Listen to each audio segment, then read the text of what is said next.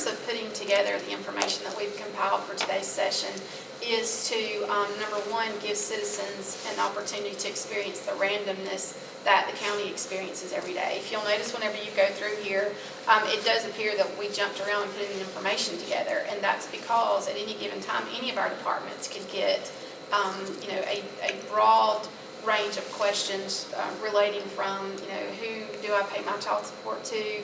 Who do I go to for child support recovery? How do I pay a traffic fine? Or how do I build a house? Um, and anything in between, um, related to their commission districts or paying their property taxes or just a general complaint. So we have put the information together, um, in a sense of random, randomness to give, um, citizens that perspective. However, I do hope that, um, everyone walks away with a tool as they view this information that, um, gives them an opportunity to contact the department that they need first instead of coming through us and having to be transferred.